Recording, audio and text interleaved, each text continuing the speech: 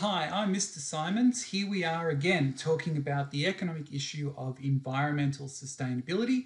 In this video, we're going to continue along with market failure. But what we're going to do is we're going to draw some graphs to demonstrate market failure. So if I think about this idea of market failure, that there are two types of graphs that we need to be able to draw. One is that of a negative externality, uh, a negative unintended consequence of production, and the other is where something good happens. Something good that maybe we didn't expect, but it's still pretty welcome, and that is a positive externality. Okay, ta-da, here is a graph ready to draw. What we're going to start with is market failure. So this is the negative externalities example. So what we're going to do is we're going to start by drawing our demand curve. And then what we'll do is we'll just, I don't know, mix it up and draw our supply curve. So this should be pretty familiar. Now, if we think about the environment and about externalities and market failure and all the things that we're doing, that if we're thinking about demand, demand is all about, you know, the benefit that consumers get. That's why they pay the money because they get benefit. So we call this, this is the price that happens, the market price, and that's the market quantity. Okay, so if I talk about M,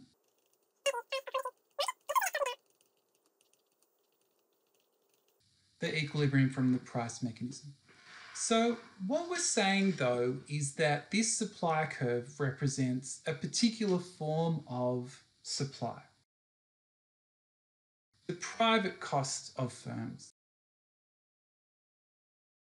Right?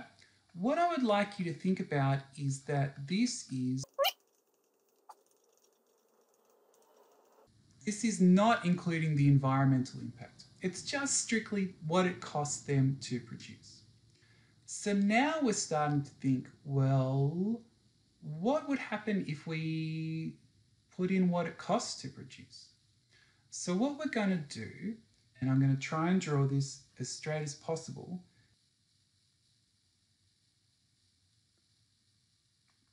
Okay, it's not terrible. So what we can say here that this S here, this new curve, is not the private cost, but in effect that this is going to be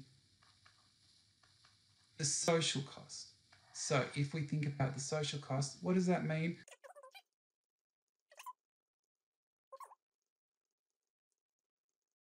including environmental damage. So we've got private cost, just what it costs to produce. Social cost, including environmental damage.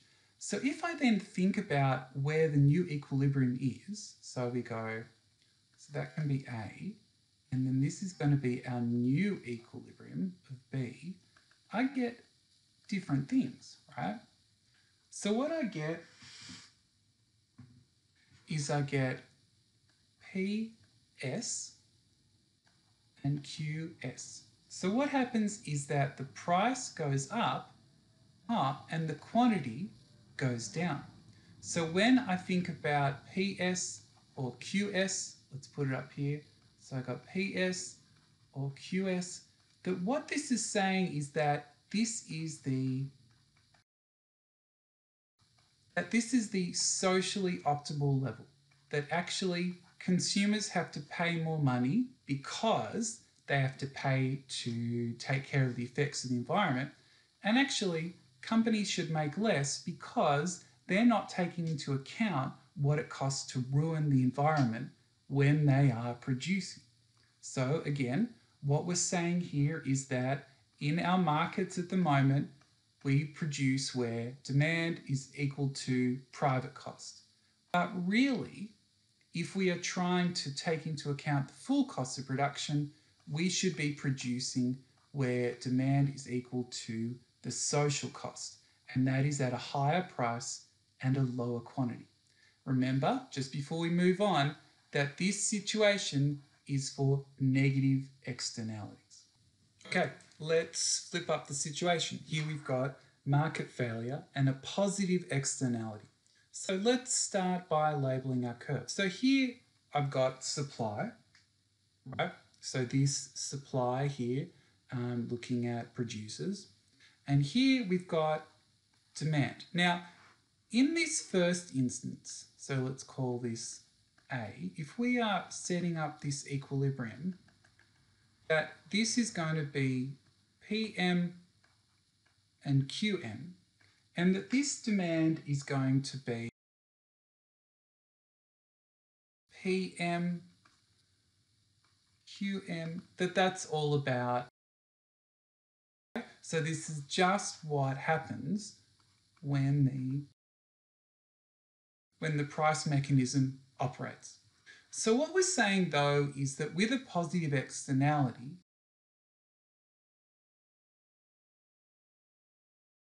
what we're saying is society gains from one person's actions. So even though our friend here gets this much private benefit, that actually in society, we get a whole lot more. Our demand in terms of the benefit that society gets, well, it's much, much larger.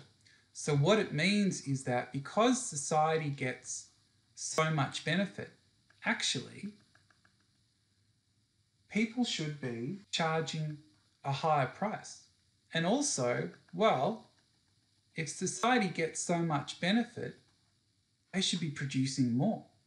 So price should be higher, production should go up, and that society would get the benefit of this positive externality.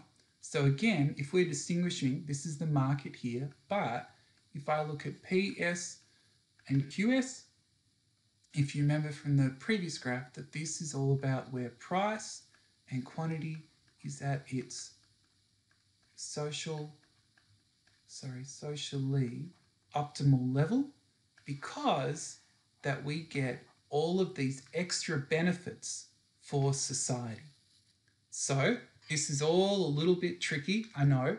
In this video, we've looked at how we draw a negative and a positive externality. Now, there are a lot more videos up there on this YouTube channel, some about the environment, some about other things. I encourage you to subscribe so you can see the latest videos as they come in, and you can find out some more information that might help build up your knowledge of economics. Thanks for watching.